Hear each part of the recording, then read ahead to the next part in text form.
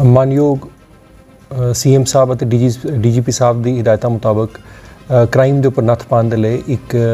Special ਮੁਹਿੰਮ ਸ਼ੁਰੂ ਕੀਤੀ ਗਈ ਸੀ ਜਿਹਦੇ ਵਿੱਚ ਕਿ ਅ, ਮੁਹਾਲੀ ਦੇ ਏਰੀਆ ਦੇ ਵਿੱਚ ਹੋ ਰਹੀਆਂ ਚੋਰੀਆਂ ਦੇ ਮੱਦੇਨਜ਼ਰ ਇੱਕ ਸਪੈਸ਼ਲ ਆਪਰੇਸ਼ਨ ਸ਼ੁਰੂ ਕੀਤਾ ਗਿਆ ਜਿਹਦੇ ਵਿੱਚ ਕਿ SPCT Akashdeep Aulakh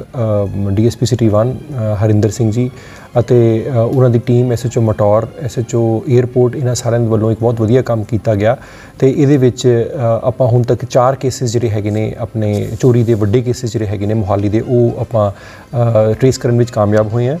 ਜਿਹਦੇ ਵਿੱਚ ਕਿ ਆਪਾਂ ਪੰਜ ਲੋਕਾਂ ਨੂੰ ਅਰੈਸਟ ਕੀਤਾ ਜਿਹਦੇ ਵਿੱਚ ਕਿ ਦੋ ਲੋਕ ਜਿਹੜੇ ਹੈਗੇ ਨੇ, ਜਿਹੜੇ ਘਰਾਂ ਦੇ ਵਿੱਚ ਚੋਰੀਆਂ ਕਰਦੇ ਸਨ।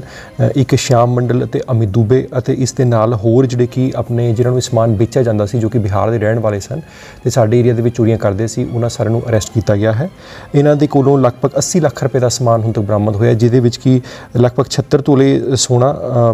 ਮ- 600 ਗ੍ਰਾਮ ਚਾਂਦੀ ਯੂਐਸ ਡਾਲਰ ਅ, ਇੱਕ ਰਿਵਾਲਵਰ ਤਿੰਨ ਘੜੀਆਂ ਇੱਕ ਮੋਟਰਸਾਈਕਲ ਜਿਹੜਾ ਕਿ ਇਹਦੇ ਵਿੱਚ ਇਸਤੇਮਾਲ ਹੁੰਦਾ ਸੀਗਾ ਚੋਰੀਆਂ ਵਿੱਚ ਇਸਤੇਮਾਲ ਕੀਤਾ ਜਾਂਦਾ ਸੀ। ਇਸ ਤੋਂ ਇਲਾਵਾ ਹੋਰ ਵੀ ਇਦਾਂ ਦੀ ਕਾਫੀ ਚੀਜ਼ਾਂ ਬਰਾਮਦ ਹੋਈਆਂ ਨੇ। ਅ, ਤੇ ਇਹਦੇ ਨਾਲ ਹੀ ਸਾਡੇ ਜਿਹੜੇ ਚਾਰ ਕੇਸਿਸ ਜਿਨ੍ਹਾਂ ਵਿੱਚ ਕਿ ਤਿੰਨ ਕੇਸਿਸ ਚੋਰੀ ਦੇ ਅਤੇ ਇੱਕ ਕੇਸ ਜਿਸ 'ਚ ਅਟੈਂਪਟ ਕੀਤੀ ਗਈ ਸੀ ਚੋਰੀ ਉਹ ਸਾਰੇ ਕੇਸ ਟ੍ਰੇਸ ਹੋਏ ਹਨ। ਅਤੇ ਇਸ ਤੋਂ ਇਲਾਵਾ ਜਿਹੜਾ ਆਪਣਾ ਇਹਨਾਂ ਇਹ ਜਿਹੜੇ ਅਕਿਊਜ਼ ਹੈਗੇ ਨੇ, ਇਹਨਾਂ ਦੇ ਉੱਪਰ ਪਹਿਲੇ ਵੀ 9 ਪਰਚੇ ਜਿਹੜੇ ਹੈਗੇ ਨੇ, ਉਹ ਦਰਜ ਹੈਗੇ ਨੇ ਤੇ ਉਹਨਾਂ ਸਾਰਿਆਂ ਦੇ ਵਿੱਚ ਇਹਨਾਂ ਦੀ ਟ੍ਰਾਇਲ ਇਸ ਟਾਈਮ ਦੇ ਉੱਪਰ ਚੱਲ ਰਹੀ ਹੈਗੀ ਹੈ। ਸਾਨੂੰ ਉਮੀਦ ਹੈ ਵੀ ਇਹਨਾਂ ਦੀ ਆਪਾਂ ਹੋਰ ਕੇਸਿਸ ਦੇ ਵਿੱਚ ਵੀ ਸਾਨੂੰ ਉਮੀਦ ਹੈ ਵੀ ਸਾਨੂੰ ਹੋਰ ਕੇਸਿਸ ਟ੍ਰੇਸ ਕਰਨ ਦੇ ਵਿੱਚ ਵੀ ਸਾਨੂੰ ਇਹਦੇ ਵਿੱਚ ਬਹੁਤ ਕਾਮਯਾਬੀ ਮਿਲੇਗੀ।